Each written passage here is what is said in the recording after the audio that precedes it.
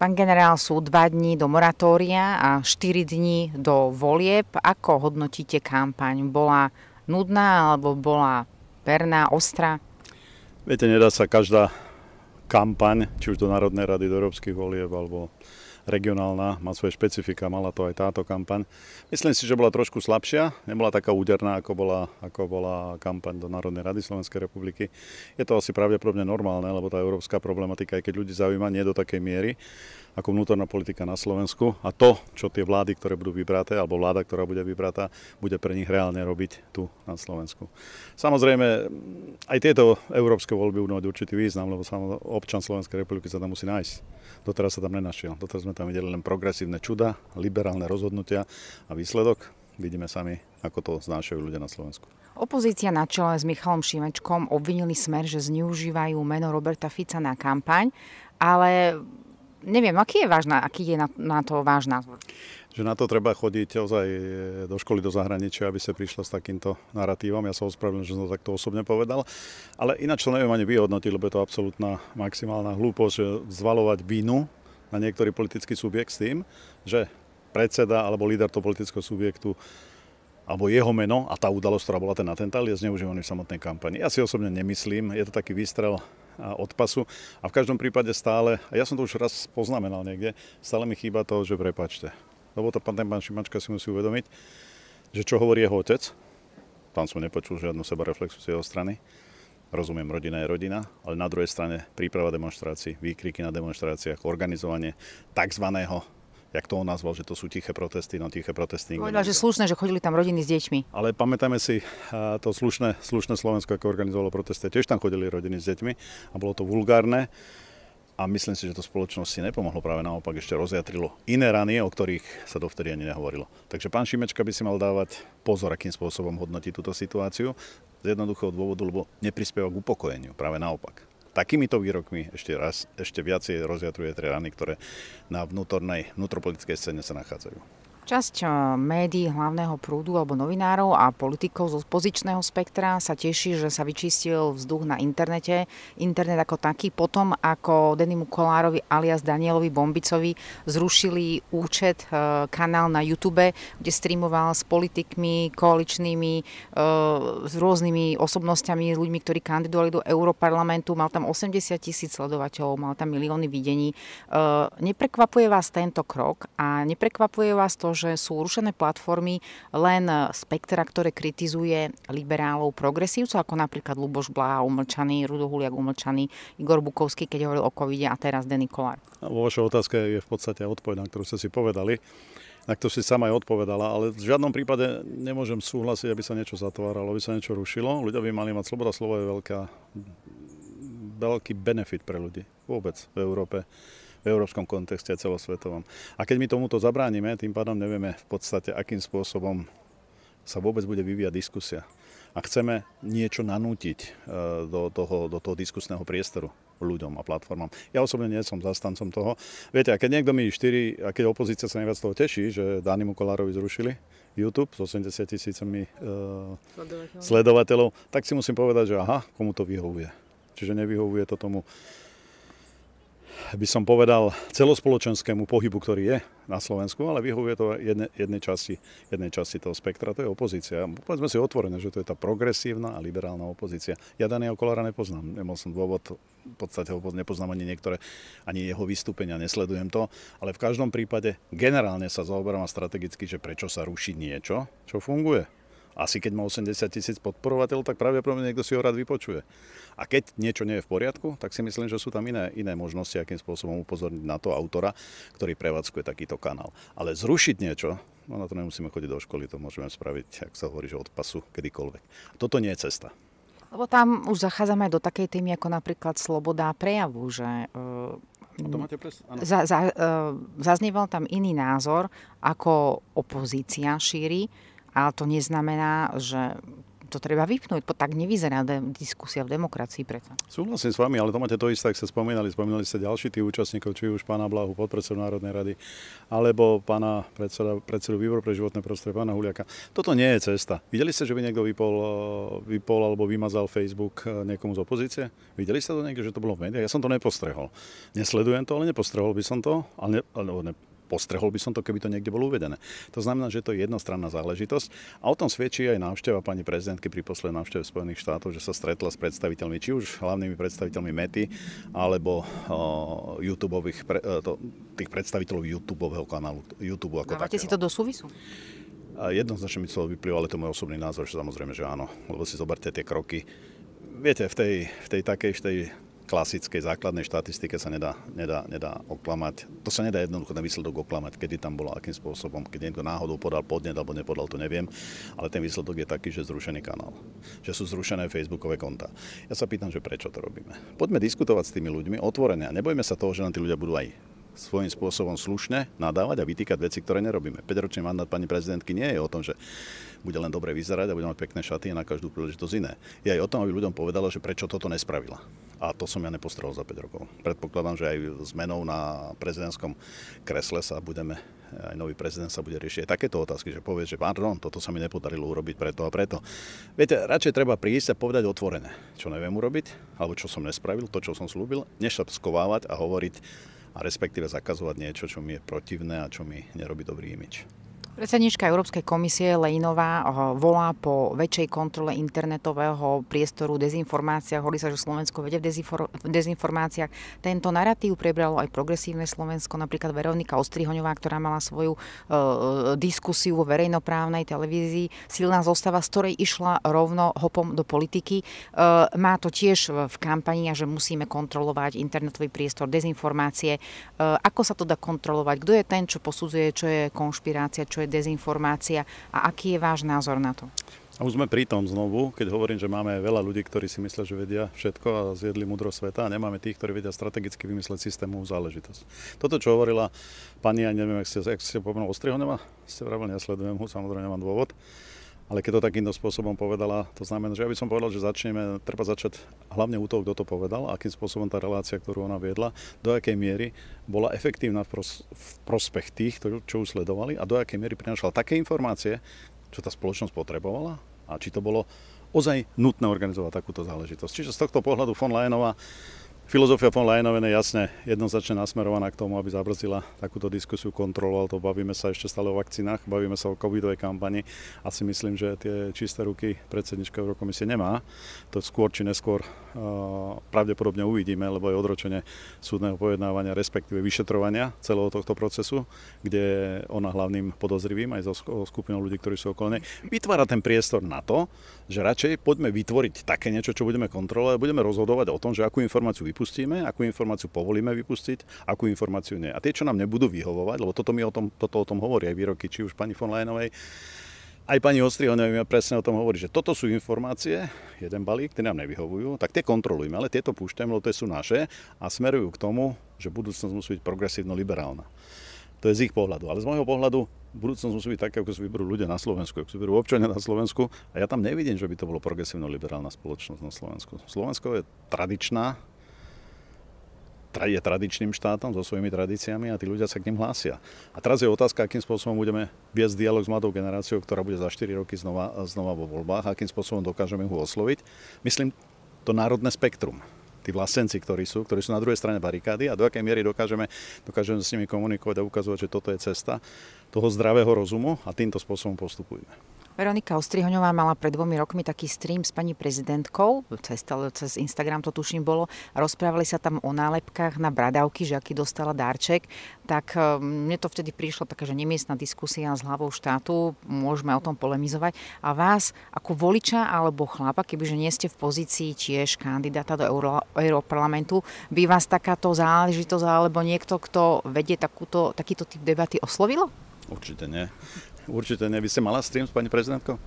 Ja nie, mi ona sa s nami nerozprávala. Ja to chcem, a nás ani nepozývala do prezidentského Na to chcem poukazovať, že neviem s nejakou pani Hostrihoňovou, hovorím, že stále neviem, kto to je. A používam to meno, ktoré ste vypovedali. a ma, ona mala si dovolila mať stream, alebo pani prezidentka mala si nejaký stream, kde tam sa bavili o záležitosti, ktoré mňa svojím spôsobom neoslovili, neviem tým dôvodom ma oslovili. A neviem, že koľko ľudí na Slovensku to oslovilo, či niekto spravil nejakú štatistiku. A tam sa mi zdá zbytočnosť takýchto diskusí. A zaťahovanie, respektíve akceptovanie zo strany pani prezidentky, pozvanie a vedenie nejakého, nejakého mediálneho streamu k týmto otázkam je si myslím mm, veľmi, veľmi pod čiarou. Bo viete, oni sa tvária, že sú nad ľudia, mainstream a tí profesionáli a my sme, e, neviem, plebs a neprofesionálni a okolo žurnalistiky sme ani nešli a tak ďalej. Budem veľmi diplomaticky, toto nepatrí presne, aby pani prezidentka alebo pán prezident uh, zúčastňoval sa takýchto všelijakých záležitostí, ktoré riešia bradavky ich prelepovania takým spôsobom. Si nemyslím si, že toto je, toto je diskusia, ktorá zaujíma väčšinou časť spoločnosti Slovenskej republiky. Myslím si, že tu sú dosť veľké otázky, ktoré sa dotýkajú sociálnych oblastí. Počuli Počuli ste, že by pani prezidentka sa vyjadrila k sociálnej oblasti? Ja sa vás nepýtam, to je len taká a teraz otázka. obiehala tie domovy seniorov. Samozrejme, lebo sa lúčila, lebo viete, bola aj v Rakúsku, bola aj v Maďarsku, mám dojem, a v ostatných štátoch niektorých. Aj u pápeža. Aj u pápeža bola. Áno, ona sa lúčila, tak bola aj v, seni- v domove dôchodcov, alebo seniorských, tých domov pre seniorov, kde takisto chcela ukázať tú svoju, by som povedal, to veľké srdce, ako to ona nazýva. Niekedy, že má veľké srdce a dokáže pochopiť, ako sa starší ľudia cítia.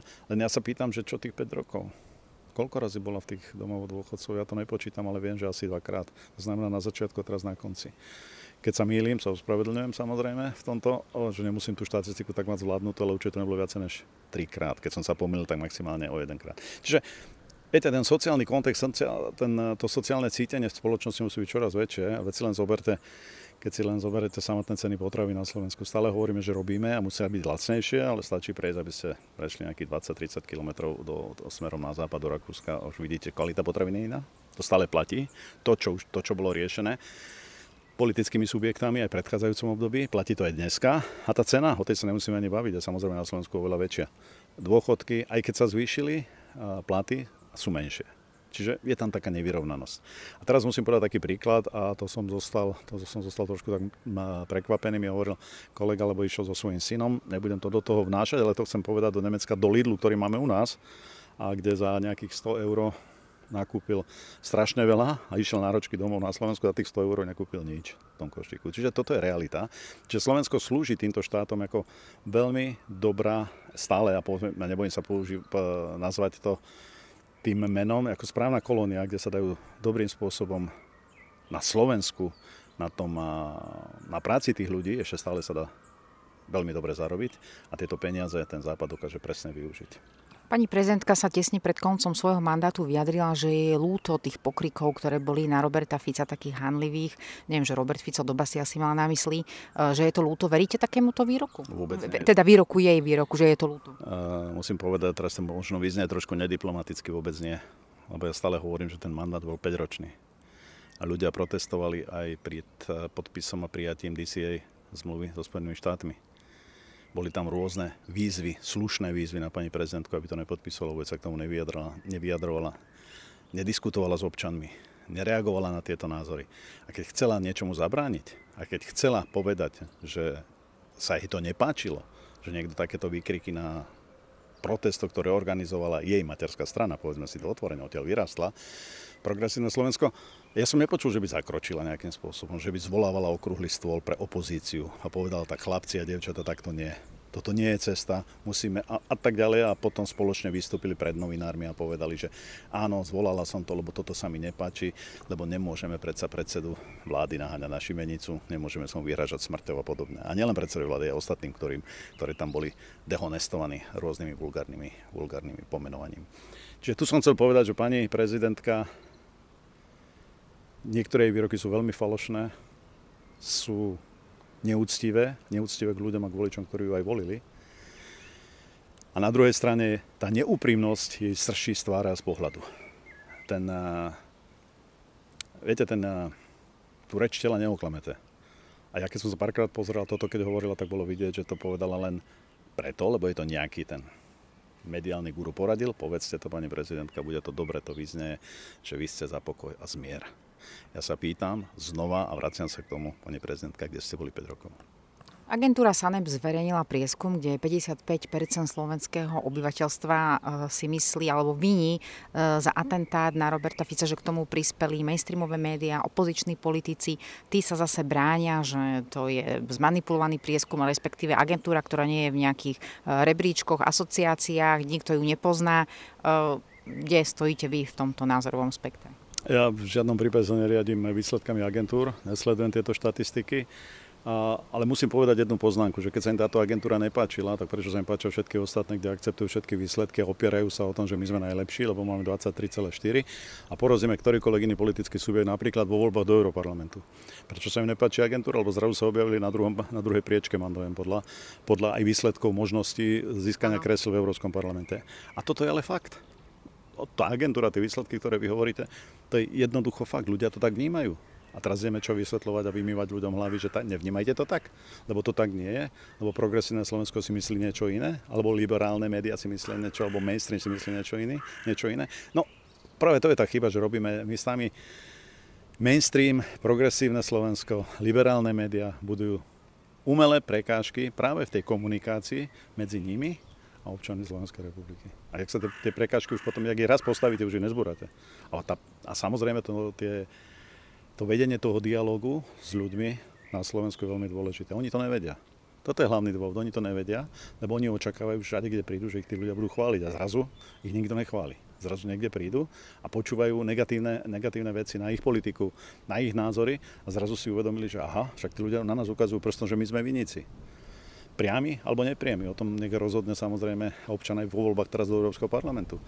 Samozrejme, že v tomto prípade nemajú čisté ruky, nemajú čisté svedomie. Stačí sa ešte raz vravím pozrieť na tie demonstrácie, na tie protesty, ktoré organizovali. Nebolo to v poriadku a myslím si, že toto nie je cesta, akým spôsobom udržiavať zmier. A ešte sa vrátim k jednému takému momentu, lebo ten zmier súvisí s tým návrhom, pseudonávrhom organizácie, organizácie okrúhleho stola, ja si myslím, že to je absolútne fantastická forma. Ešte raz sa vrátim, že všetci tí mediálni guru, ktorí stoja za nejakými prípravami nejakých výstupov tých hlavných našich predstaviteľov, by boli nadšení, keby sa podarilo spraviť okrúhly stôl, lebo z toho vedia vyťažiť ďalšie 2-3 mesiace a vedia to nejakým spôsobom rozdeliť. Nie som odborník na tieto témy. Čiže preto hovorím, aj tu sa prejavila tá faloš a neúprimnosť s myšlienkou organizovania okrúhlych stolov. Lebo po 5 rokoch, 3 týždňa, alebo koľko to bolo mesiac pred skončením mandátu organizovať okrúhly stôl, ja sa pýtam, čo ste chceli povedať, pani prezidentka, tým ľuďom, čo ste chceli povedať tým politickým stranám. Ako ste chceli zmieriť lídra Olano napríklad s, lídram, s lídrom Smeru, s lídrom nejakej inej strany, na ktorého samozrejme Olano najviac, najviac na týchto ľudí alebo na týchto politikov štvalo ľudí proti týmto politikom. Chcelo ich zatvárať, vymýšľalo kauzy ktoré svojím spôsobom do dneska nie sú došetrené. Vidíme rozhodnutia súdov dneska, napríklad vo osobe súdcu Lindnera, oslobodenia. To som spomenul jedno, to som, e, s touto správou som sa stretol. Takže chcem povedať, že aha, pravdepodobne bola niekde chyba. Nebola tá chyba taká, aká bola súčasnou opozíciou a v predchádzajúcom období 3-4 roky dozadu koalíciou a vládnúcimi stranami hovorená ľuďom a presvedčený, že áno, že to sú tí zlí a tých treba zatvoriť a tým treba urobiť neviem čo všetko zo života peklo. Nemyslím si, že to je dobré a preto okrúhly stôl nevidím.